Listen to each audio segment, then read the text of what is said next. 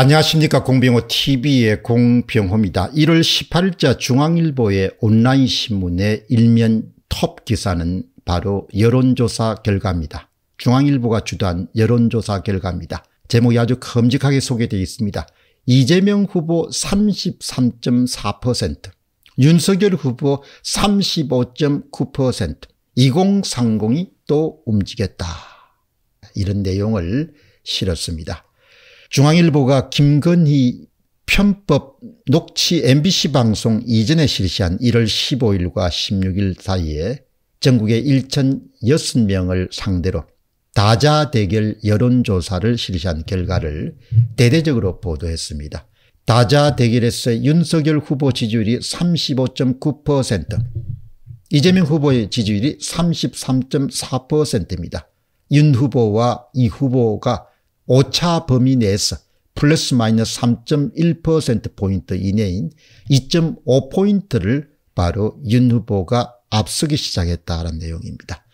지난해 12월 30일과 30일 같은 조사 방법이 경우에는 윤 후보가 그때에 비해서 5.9%포인트가 상승했고 이재명 후보는 6%가 하락했습니다. 흥미로운 것은 정권 교체에 대한 야당 후보 당선이 필요하다는 주장이 2021년도 12월 30일과 31일 양일에 실시된 여론조사에서는 48.5%였습니다만 1월 15일과 16일 양일 사이에 실시된 여론조사에서는 56.5%로 예, 거의 8, 9%가 올랐습니다. 근데 지금 우리 사회 일각에서는 야당 단일 후보가 되더라도 여론조사에서 박빙 승부, 아슬란슬한 승부가 나오게 되면 야당 패배가 일어날 수밖에 없다. 이런 주장들이 상당한 설득력을 잇고 있습니다. 그들의 주장은 요약하면 여론조사에서 최소한 15% 이상의 격차를 야당 후보가 만들어내지 못하면 당선이 쉽지 않을 것이다 이렇게 주장하는 겁니다. 15% 여론조사의 차이라는 것은 어마어마한 숫자입니다. 그렇기 때문에 현실 세계에서는 일어나기가 거의 불가능한 그런 숫자입니다.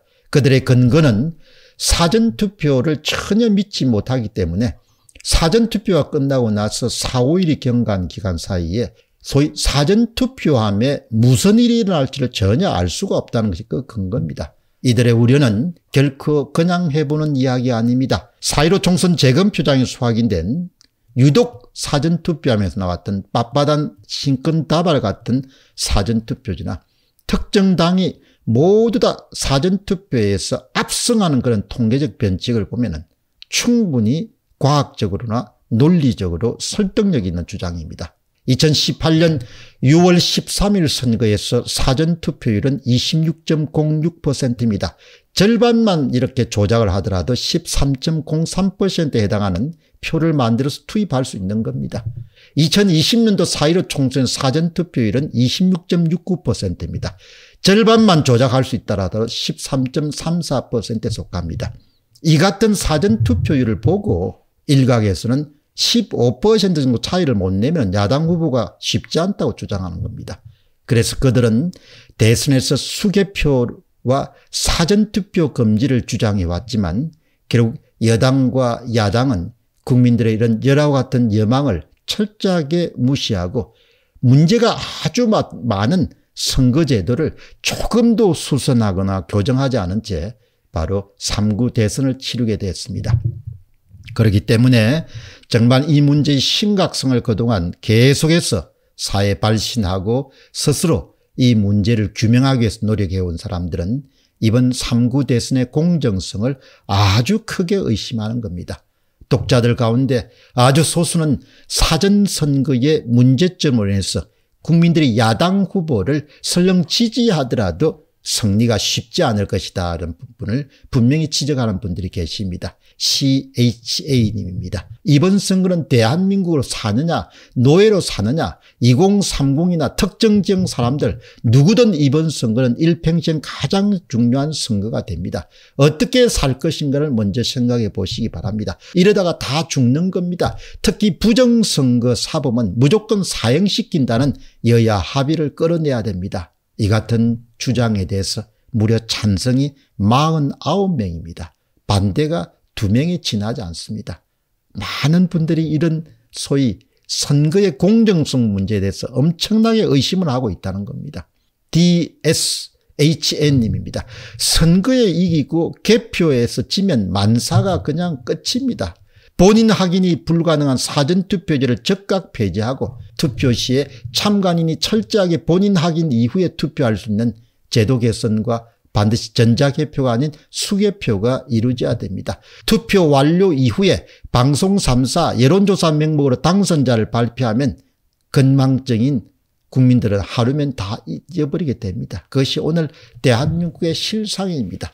부정선거의 TF 타스크티 포스팀을 구성하고 대책을 마련해야 됩니다. 팀장에 원희룡 지사를 추천합니다. 그런데 그 팀장인 원희룡 지사는 대한민국 선거에 전혀 문제가 없다고 주장하지 않습니까?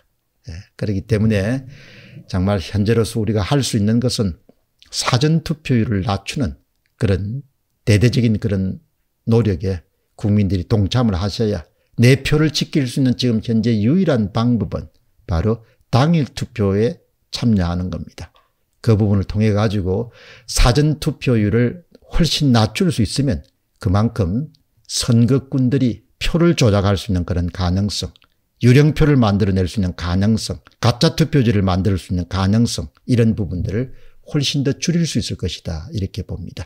정말 어려운 상황이지만 그럼에도 불구하고 낙담하지 말고 전 국민이 당일 투표에 참여해서 자기 표를 지키고 국민의 표를 통해 가지고 지도자를 바꿀 수 있는 그런 체제를 이번 기회에 만들어내야 됩니다. 그것이 어렵지 않습니다. 아주 간단합니다. 사전 투표하지 않으면 됩니다. 당일 투표하면 되는 겁니다.